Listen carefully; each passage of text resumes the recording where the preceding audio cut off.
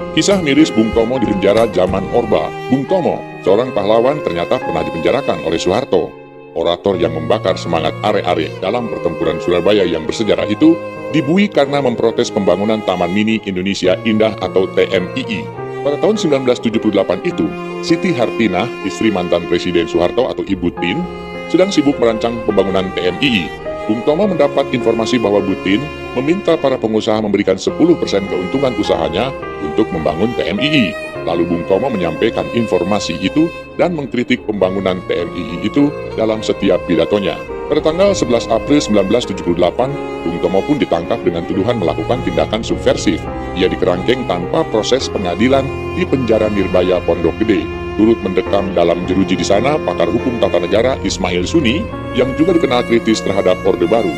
Ibu Tin dan Pak Soeharto sepertinya tersinggung dan menangkap Bung Tomo kata Sulistina, istri Bung Tomo saat ditemui Detikom. Kritik Bung Tomo terhadap Soeharto sejatinya bukan cuma soal TNII saja. Sebelumnya ia mengkritik keras peran asisten pribadi Ali Murtopo dan Sujono Humardani dan keluarga Presiden Soeharto. Juga praktik cukongisme sebagai realisasi nepotisme melalui peran ekonomi yang berlebihan dari pengusaha non-pribumi. Menjelang Hari Pahlawan 1972, majalah Panji Masyarakat nomor 855 tahun ke-13 memuat wawancara dengan Bung Tomo dengan judul Bung Tomo menggugat pengorbanan pahlawan kemerdekaan dan semangat 10 November 1945 telah dikhianati. Artikel ini berisi kritikan Bung Tomo kepada Presiden Soeharto, Gubernur Ali Sadikin, dan Bulog yang seolah-olah menganakmaskan etnis Tionghoa. Gara-gara TNI, Bung Tomo harus mendekam di dalam tahanan selama satu tahun dari tahun 1978 hingga 1979. Sulistina tentu saja tidak terima sang suami diperlakukan secara tidak adil oleh rezim Soeharto. Perempuan yang pada saat perang kemerdekaan itu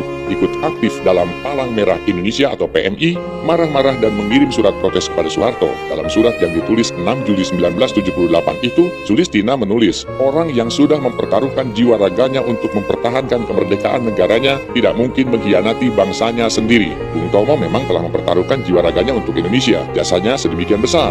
Pidato Bung Tomo dengan petikan khas Allahu Akbar yang disiarkan di radio-radio menjadi energi yang menggerakkan are-are Surabaya melawan Belanda yang ingin menjajah kembali negara kesatuan Republik Indonesia. Pertempuran Surabaya yang kemudian diperingati sebagai Hari Pahlawan setiap 10 November tidak bisa dilepaskan dari peran Bung Tomo. Nyatanya tuduhan yang ditujukan kepada Bung Tomo dengan memenjarakan selama satu tahun tidak terbukti. Kisah nenek yang kini berusia 90 tahun itu. Keluar dari penjara, Bung Tomo tidak sungkan langsung menunjukkan rasa cintanya pada Sulistina.